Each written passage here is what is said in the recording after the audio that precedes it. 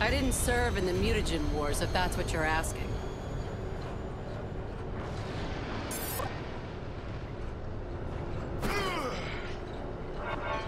You ever get out to F on!